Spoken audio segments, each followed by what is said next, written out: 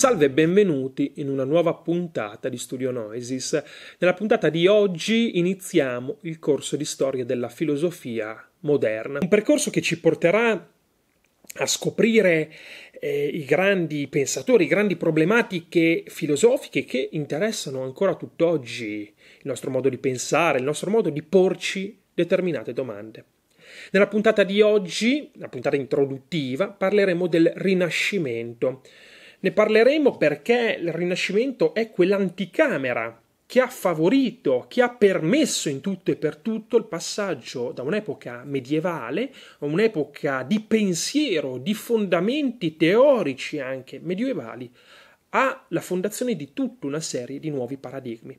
Un passaggio che durerà davvero dei secoli, centinaia di anni. Il Rinascimento eh, si basa innanzitutto questo passaggio rinascimentale su due condizioni storiche. Da un lato la nascita della borghesia. La borghesia è una nuova classe, è un nuovo ceto e un nuovo ceto pericoloso che non è ben visto dalle società strutturate in maniera feudale, ad esempio, perché il borghese è l'uomo che si fa da solo, la borghesia mercantile, ma anche la borghesia delle libere professioni, saranno quegli uomini che, di umili origini che attraverso una serie di successi di tipo economici arriveranno ad avere davvero tanto potere e arriveranno a insidiare il potere delle grandi famiglie nobiliari, quindi ci sarà un vero e proprio scontro che, come vedremo, vincerà ben presto eh, la borghesia, tanto che si inizierà a parlare di nobiltà decaduta, la borghesia inizierà a comprare i titoli nobiliari e quindi vi sarà un vero e proprio scontro da questo punto di vista che vincerà in tutto e per tutto la borghesia. E questo è il primo passaggio al moderno. Ma c'è anche un altro passaggio, cioè la nascita degli stati nazionali, la nascita di, di, di, dei confini, confini che in molti casi sono ancora come quelli eh, odierni, la nascita delle identità nazionali, quindi l'esigenza dei popoli di creare delle proprie culture, delle, de, una propria idea di identità, le proprie lingue, le proprie tradizioni, i propri pensatori, i propri filosofi, eccetera. Ma la nascita della borghesia, recuperiamo un attimo questo punto, si, eh, sarà importante nel nostro percorso perché si incrocia bene con la nascita della borghesia intellettuale, di un nuovo tipo di intellettuale, un intellettuale che viene pagato laico, quindi non legato al mondo ecclesiastico, che viene pagato per produrre filosofia, per produrre cultura, per produrre pensiero e può creare un tipo di filosofia nuova.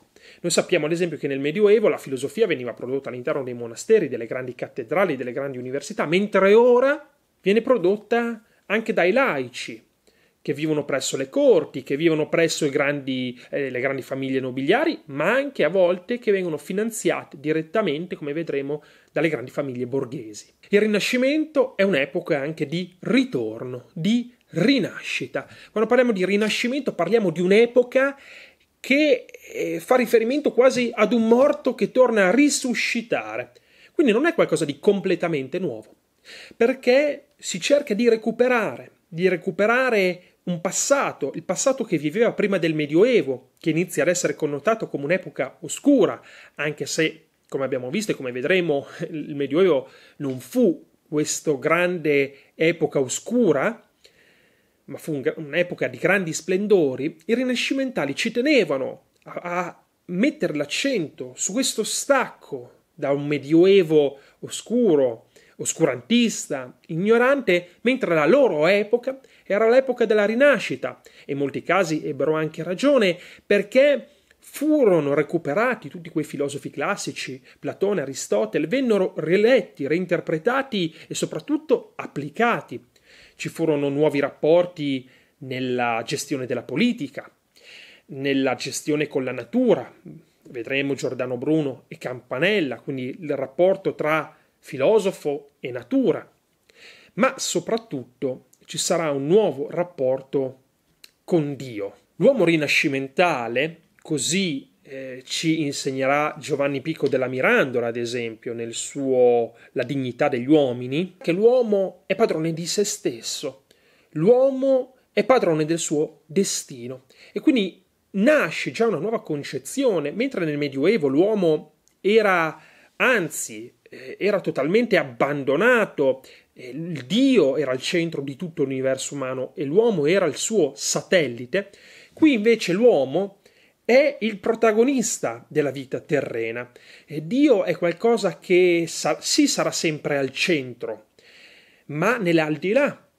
Ora qui è l'uomo a ricoprire una grande importanza. Ma attenzione, non vuole essere un significato antireligioso questo. L'uomo rinascimentale non è ancora un uomo eh, che vede la possibilità di un destino senza Dio, ma è un uomo che ha un legame particolare, nuovo, rinnovato con Dio, in cui l'uomo, plasmando il suo destino, plasmando la sua storia, la sua vita, può rendere orgoglioso Dio, potremmo dire, può assolvere ai compiti che Dio gli ha affidato. Insomma, per l'uomo rinascimentale avere una vita piena, anche, e attenzione, questo sarà un altro punto, di piacere, di benessere, sarà sinonimo di rendere eh, un servizio a Dio, adempiere al compito che Dio ha attribuito all'uomo. Il Rinascimento è un'epoca di frattura, è un'epoca di rottura. Questa fu la tesi avanzata da Burkhard, un grande storico, nella sua immensa opera, ormai un classico della storia. Eccola qui, ve la presento. È La civiltà del Rinascimento in Italia. Questa opera Burkhard sosteneva che il Rinascimento era stata un'epoca di grande rottura col Medioevo, grande rottura che era avvenuta ed era iniziata in Italia. Ma ci saranno anche altri storici, mi viene in mente Burdak, che invece sarà un grande sostenitore della tesi, discontinu- eh, della tesi continuista, scusatemi. Quindi il Medioevo non è separato da una frattura, ma è una evoluzione. Il Rinascimento è l'appendice ultima di un processo di evoluzione. Ma andiamo a vedere qualche nome, qualche nome di questi rinascimentali, di questi umanisti Innanzitutto il primo, beh, il più celebre di, tu- di tutti sarà proprio Petrarca, nato nel XIV, nato e vissuto nel XIV secolo, Petrarca scriverà un testo sull'ignoranza sua e degli altri contro Averroè, o perlomeno contro la filosofia di Averroè, ma potremmo dire che Petrarca non avrà in simpatia tutti quegli autori arabi, tutta quella filosofia medievale, quella scolastica medievale tanto complessa e tanto, eh, potremmo dire, eh, futile da un punto di vista della visione rinascimentale e andava semplificato l'approccio, tanto che Petrarca sarà un grande sostenitore del reimpo- della reimpostazione agostiniana, riesumerà e leggerà Agostino, leggerà San Francesco.